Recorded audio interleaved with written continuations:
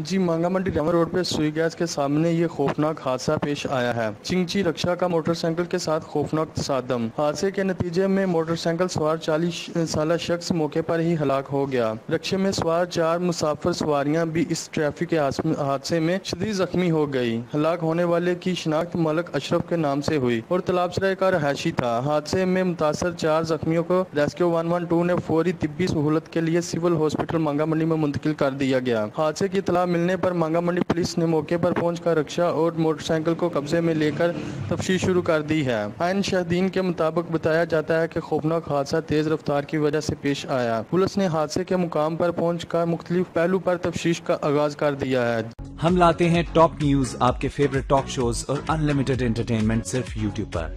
अगर आपने अभी तक हमारा चैनल सब्सक्राइब नहीं किया तो अभी सब्सक्राइब करें और बेल आइकॉन को क्लिक करके हमारी लेटेस्ट वीडियोस के बारे में अपडेट जानें।